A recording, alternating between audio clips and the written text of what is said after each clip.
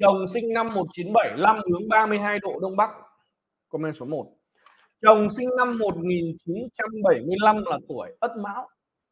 Vợ sinh năm 81 là tuổi Tân Dậu. Ất Mão mà 32 độ ôi trời, nhà này rất bị kiện lắm. Nhà này đúng sao tố tụng giữa được. nếu như cái độ số này chị đang nói đúng thì hiện nay 32 độ đông bắc là đúng sao tố tụng chiếu cửa luôn bên này. Cái tỷ lệ ở đây nhà chị xảy ra tranh chấp và kiện cáo nó cực kỳ cao ở đây này. Đấy. Cực kỳ là cao. Ở đây này. Đấy. Mặc dù ở đây là rất là hay được quý nhân trợ giúp nhưng mà cái sao tố tụng thì mình phải để ý. Có thể là ví dụ giả sử nhé bây giờ nó chưa xảy ra nhưng nó sẽ xảy ra. Và cái thời điểm là năm xỉu năm mùi tôi sẽ nói luôn năm nào bị xấu. Bởi vì nó nằm tại cung nào thì nó sẽ xảy ra vào cái năm đấy. Cái tỷ lệ cao nhất. Ngoài ra ở đây còn bị cái sao trường bệnh cho nên là cái người trong nhà mình ở đây là rất hay ốm ốm lâu lắm. Trường bệnh trường là kéo dài bệnh là bệnh tật. Ở đây mình phải để ý nhé ở đây chị, chị anh Nguyễn Văn Khánh đúng không? Anh nên để ý về nhà mình có thể nghiệm chứng trực tiếp luôn nha. Mình ờ, không duy tâm nhưng thấy kênh thầy Tuấn tư vấn rất nhiệt tình và nói rất chuẩn có căn cứ. Vâng cảm ơn ờ, chị Phương Linh các bạn hồi. Thực ra thì tôi cũng biết là có rất là nhiều anh chị đúng không ạ? Có thể là mới lần đầu anh chị tiếp xúc với phong thủy anh chị đã tiếp xúc lâu rồi. Tuy nhiên là bản thân tôi là một người gì ạ nghiên cứu phong thủy thì tôi rất là muốn chia sẻ những kiến thức mình đã nghiên cứu được, nghiệm chứng được đến với anh chị trên góc độ là khoa học khoa học ở đây được dựa trên là luận đoán là có cơ sở căn cứ, có cơ sở căn cứ chứ không phải là giống những cái bộ môn như là bói toán này nọ kia, tôi không muốn như vậy Đấy. cho nên là tất cả những cái điều mà tôi đang luận đoán ở đây là thứ nhất là sách là tôi viết, đúng không ạ thứ hai là tôi đang sử dụng chính những kiến thức mà tôi đang viết, mà tôi cũng đang sử dụng những kiến thức này để đi tư vấn cho rất là nhiều người. Mà tôi cũng đang muốn sử dụng những kiến thức này là để thực chứng cho anh chị thấy được rằng là những kiến thức mà tôi viết thành sách những kiến thức tôi đang chia sẻ như này thì nó ứng nghiệm đến mức độ gì? Anh chị trên livestream anh chị có thể có thể nghiệm chứng được luôn, đúng không? Cho nên là tôi rất là muốn chia sẻ những cái điều này để giúp cho anh chị có thể có những cách nhìn nhận khác về bộ môn phong thủy rất là khoa học. Ngoài ra nếu như nhà anh chị bị xấu ấy thì chúng ta gì ạ? Có thể là biết trước để chúng ta tránh, đúng không để chúng ta để chúng ta gì ạ? có những biện pháp điều chỉnh, khắc phục ít nhất. Ví dụ như anh chị gì ạ? Biết là cái nhà mình có cái sao tố tụng, đúng không? Thì ví dụ giả sử nhé anh chị không có những cái vật phẩm điều chỉnh hóa giải, thì ít nhất là anh chị cũng biết là à đến cái năm nay, hiện nay nhà mình nó đang bị cái sao tố tụng một chiều. Thì năm nay mình làm những cái việc gì liên quan vào giấy tờ thì mình phải để ý hơn anh chị có đúng không? Giả sử nhé trong cái trường hợp mà anh chị chưa sử dụng vật phẩm phong thủy, chưa sử dụng để hóa giải thì ít nhất cũng đã giúp cho anh chị có một cái sự dự đoán trước về cái vận trình nhà ở của mình. Mình biết vẫn tốt hơn đúng không anh chị? Mình biết được vẫn tốt hơn. Cho nên ở đây thì gì ạ? Rất là cảm ơn chị ờ, Phương Linh đã có những cái sự phản hồi. Đây cũng là một trong những cái động lực mà tôi sẽ tiếp tục chia sẻ, viết sách hiện nay thì tôi cũng thông báo với anh chị là tôi sắp ra mắt quyển sách thứ tư của mình. Hiện nay tôi đã giảng bốn đầu sách. Thứ tư của tôi thì đâu đó khoảng trong tuần này tuần tới đây, cũng sẽ xong. Hiện nay tôi đang in sắp xong rồi. Thế thì à, nếu anh chị nào đã từng đọc sách của tôi và quan tâm thì anh chị có thể là để ý và có thể là tham khảo sách của tôi. Là một trong những cái quyển sách mà tôi cũng viết rất là tâm huyết về bộ môn dự đoán học. Nó có tên là mật pháp dự đoán thời vận.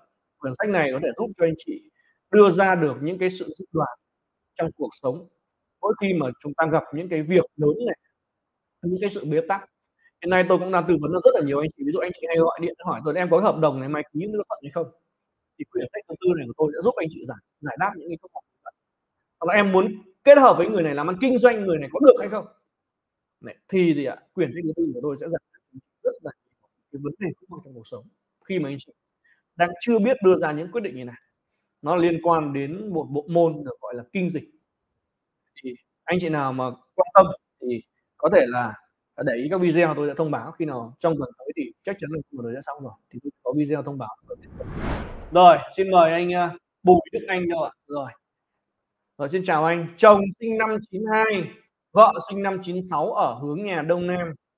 Chồng sinh năm 1992 là thuộc vào tuổi nhâm thân vợ 96 là bính tý nhâm thân này rồi cảm ơn anh chị đã comment số 1 92 là nhâm thân nhâm thân ở hướng đông nam ở Đông Nam ạ. À. đây này. Nhâm thân ở Đông Nam mà đúng hướng tuyệt mệnh, hướng này khá là xấu. Hướng này nhìn đây là thấy là thứ nhất là sao tố tụng đang chiếu giữa cửa luôn. Cho nhà này một chính hướng là tỷ lệ mà xảy ra tranh chấp và kiện cáo gần như là kiểu gì cũng xảy ra rồi. Chắc chắn luôn, không sớm thì muộn đây này. Bùi Đức Anh này. Ngoài ra bên cạnh còn tôi còn nhìn thấy sao trường bệnh. Cho nên ở cái nhà như này là rất hay ốm. Ốm lâu lắm. Đặc biệt là những cái bệnh mà hướng tuyệt bệnh này nó cái tỷ lệ mà những cái bệnh mà liên quan đến một là đầu, hai là mắt là cực kỳ cao. Đấy, cực kỳ là cao. Ở đây phải để ý phải để ý. Đấy. Cho nên là nó có sẽ có rất là nhiều những cái vấn đề mà nó ảnh hưởng. Đấy, nó ảnh hưởng. Vâng, cảm ơn anh à, Xuân Phong nhé. Đấy, cảm ơn anh, cảm ơn anh chị. Giả sử mà trên livestream thì thực ra thì cũng có rất là nhiều comment bình luận của anh chị ấy mà. Giả sử mà tôi chưa hỗ trợ được ấy thì mong chị thông cảm thì tôi có ghi một cái đường link. Là link hỗ trợ tư vấn qua Zalo tôi đã ghi ở bình luận ấy. anh chị ấn vào đường link vào. Đặt giúp tôi câu hỏi của đó thì để các bạn trợ lý chuyên môn của tôi sẽ uh, cùng với tôi có thể là hỗ trợ cho anh chị nha hỗ trợ thêm cho anh chị. Bởi vì có nhiều anh chị có thể comment nhưng mà có thể anh chị đợi lâu nhưng mà bản thân mình tôi thì cũng không thể nào mà gì ạ giải đáp hết tất cả các câu hỏi thì sẽ có thêm các bạn trợ lý của tôi hỗ trợ thêm cho anh chị để để trả lời cho anh chị một cách sớm nhất nhé anh chị nào mà chưa được hỗ trợ thì ấn vào cái đường link và đặt câu hỏi giúp tôi để để các bạn trợ lý của tôi hỗ trợ cho anh chị. Cảm ơn anh chị. Xin chào tài khoản Xuân Phong. Rồi, xin chào anh. Chồng sinh năm 75 ở nhà hướng Bắc. Chồng sinh năm 1975 là thuộc vào tuổi Ất Mão. Tuổi Ất Mão mà nếu như ở nhà hướng Bắc hướng Bắc này là hướng nhà họa hại, cho nên anh ở đây gần như là mình sẽ rất hay gặp phải những cái tai họa bất ngờ ở đây thứ họa hại này. Mặc dù ở đây có cái sao tấn tài thì cũng có thể là rất là tốt về mặt tài vận. Tốt về tài vận nhưng mà nhà anh ở đây thì kinh tế có thể là tốt về tài vận nhưng mà sức khỏe hay bị yếu kém. Tức là sức khỏe nhà này không được tốt bởi vì hiện nay đang có hai cái sao là sao ôn hoàng của trường nó đang chiếu đến cửa. Mà hai cái sao này là, hai cái sao mà nó sẽ chủ quản về bệnh tật rất nhiều. Có thể nói là người trong nhà rất hay ốm ở đây có thể ốm lâu. Ở đây nên chú ý hơn vào sức khỏe Xuân Phong nhé. Chuẩn quá này, anh chị thấy Xuân Phong phản hồi không? Luận đến mức độ mà anh phản hồi là chuẩn quá. Tôi đâu hề quen anh Xuân Phong đâu ạ. Tôi cũng chưa từng biết luôn. Nhưng mà tôi luận đoán xong là anh phản hồi lên hai cái sao là ôn hoàng của trường bệnh đang chiều đến cửa. Hai cái sao là ôn hoàng của trường bệnh.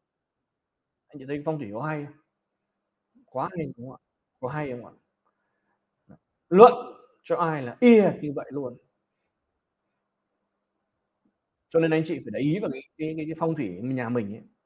không biết là anh chị đã từng xem phong thủy bao giờ chưa thì tôi không biết.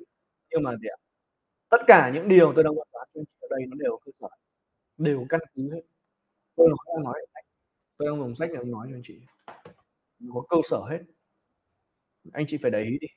Đừng để gì ạ chúng ta chủ quan đến khi là rất là muộn thì cái sự việc nó xảy ra rồi như nhà anh ở đây, kể cả anh Xuân Phong ở đây, trong nhà mình có những lúc mắc những bệnh ở đây gần như là uống thuốc không phải luôn. Bởi vì những cái này nó liên quan đến bệnh về phong thủy. Không phải là uống thuốc mà khỏi được. Trong trường hợp như này thì anh có thể là tiến hành ăn vị gương sơn hạt chống để hóa giải. Anh có thể là nhắn qua fanpage hoặc để lại số điện thoại. Thì các bạn trợ lý chuyên môn của tôi, các bạn sẽ hỗ trợ tư vấn cho phong trong trường hợp này nhá, để giúp cho anh. Có rất là nhiều người, tôi biết được rằng anh chị phản hồi, anh chị cũng biết tôi cách đây khoảng tầm 3 năm nhưng mà người đấy không để ý cũng không để ý. Đấy rồi và không để ý và sau đó thì anh chị gặp ra những cái vấn đề những cái biến cố xong đó anh chị tìm lại kênh của tôi thì thì khi đó anh chị phản hồi rằng là cái trước kia mà tôi đã, đã từng luận đoán cho anh chị đấy thì thực ra là đến đến một vài năm sau anh chị mới nghiệm có thấy là nó đúng cái đội ứng nghiệm. Đấy, nhưng mà rất đáng tiếc bởi vì mình hoàn toàn biết được nhưng mà gì ạ? Nhưng mình lại chủ quan đúng không? Rất đáng tiếc mình phải nên để ý.